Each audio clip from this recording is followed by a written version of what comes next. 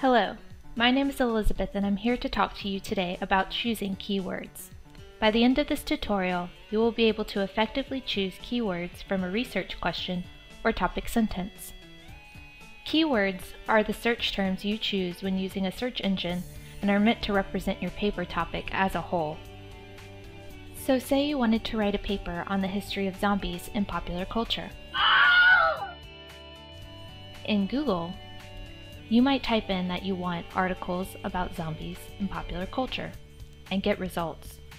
But our library's catalog does not work this way. In our catalog Scout, we must choose keywords, so typing in articles about zombies in popular culture will bring you back results, but not the ones you need. Instead, we must choose the right keywords to make our search as relevant as possible. For this topic, our two main keywords will be zombies and popular culture.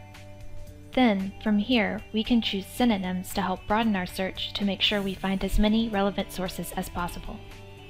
For example, in addition to searching for zombies and popular culture, you could also search for undead and film, or Walking Dead and television.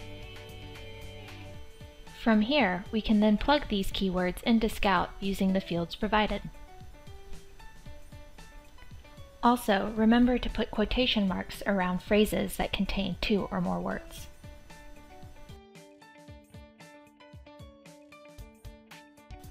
Thank you for watching. Please see our next video to find out how to use Boolean operators with keywords to improve your search results, and don't forget to visit us at lib.ua.edu.